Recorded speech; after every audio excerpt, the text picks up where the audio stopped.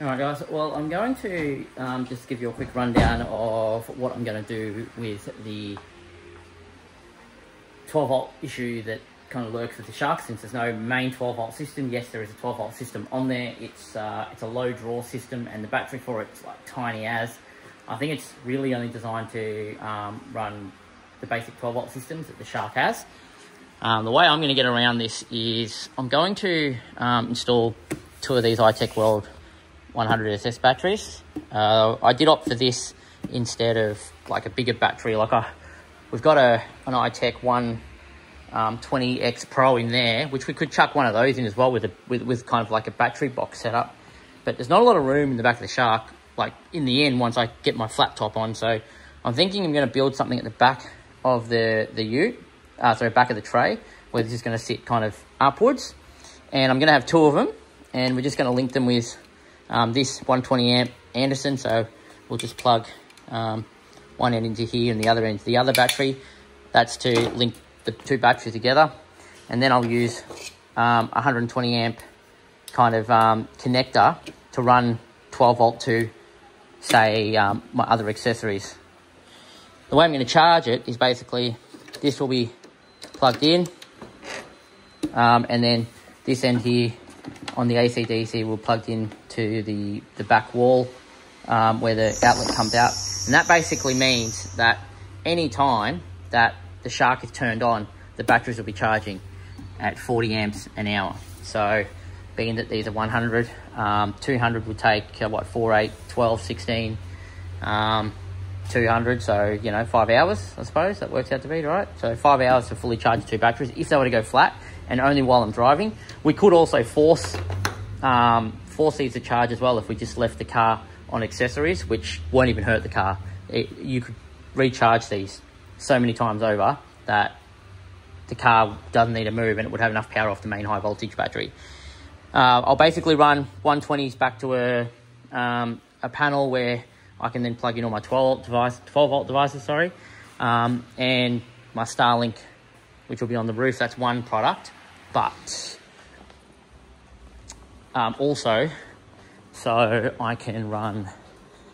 Um, I'll have an Anderson port coming out the back here as well, so I can plug my caravan in if I want to do DC DC charging for the caravan. Now, originally, I was actually going to um, run an AC DC charger for the van, but I've I've think thought about it. I thought if it's raining and there's water or just stuff flicking around, I don't want 240 AC running from here into the into the van through kind of this passageway here. And if something goes wrong and it short circuits, like I don't want to even know what, what that could what that could develop from that. So basically making a a DC system in the back um, will be good. Now I was only going to put one battery, so just just have a think. The back wall there is where I'm thinking the board will be. The two flat uh, slimline battery packs. The AC DC charger will probably sit on that as well. I have a cable from here that runs up, and that's pretty much you know I'll be able to run my 12 volt lights and everything like that. That's going to be my plan for now, and that's self-managing, which means I don't have to worry about it. Self charges. Um, these batteries are also Bluetooth. They've got built-in uh, Bluetooth um, capability, so there's an app you can basically monitor to see what your battery states are at, which it negates me having put anything else in line. And I'm going to make everything Anderson connection based, just to keep everything simple and easy. Potentially, I could even put a TVMS Redarc system in, because um, they're only 80 amps, I think, total board capacity, which is well within. But that gets me started on my 12 volt um, requirements. That might be overthinking it, but I think that's the best right now for me to get away with what I want to be able to do. Yeah, and I've got uh, with Simpson Desert kind of developing around the corner. I haven't got a lot of time to think about all this. But if you guys have thought about this and maybe you've figured out a better way to do 12 volt high loads and you know, general accessories, let me know because I am curious about um, other options or other people have thought of. It actually, I should show you guys in case you're not familiar with the, the battery, the 12 volt battery um, that's currently in. Oh, and guys, check out my new seat covers. What do you reckon? Uh, had to do something. So, and I got matching trim color with um, the factory red and black.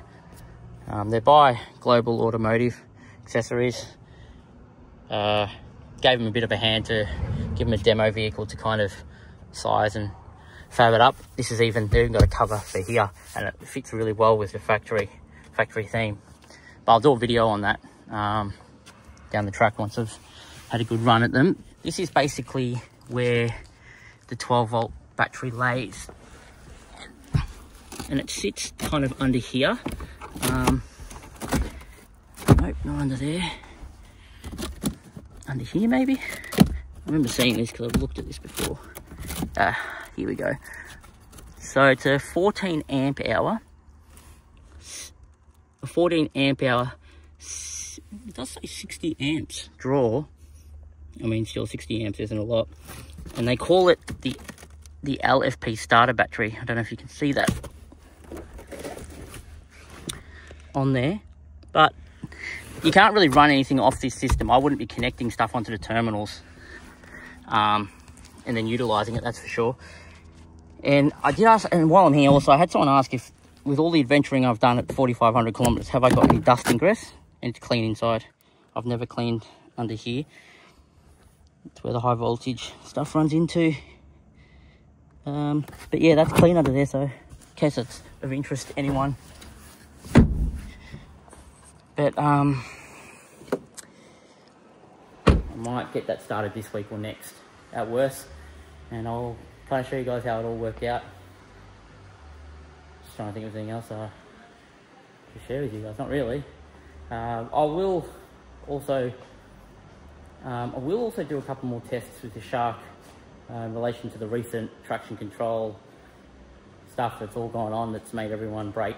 Um, because I don't think you guys realise how steep that hill is, and I, I also think a lot of you guys think I'm coming off the accelerator, which I'm not.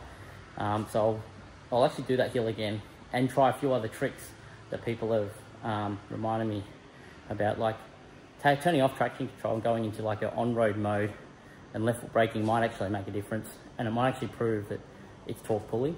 Um, it's, it's very interesting. It's just like you're driving, your foot's down in the accelerator and you're just slowing down till you come to a stop. It, eh, my foot doesn't come off the accelerator at full, at, at full press until I hit the brake, which is when you see the brake lights come on. So I'm not slowing down, it's just not giving me the power. So it's something I really need to work out because it's, it can be dangerous off-road and it's not what I expected. So a lot of questions there we have to figure out. But anyway, see you guys in the next video and yeah, pop your comments down below about the um, my planned 12 volt system.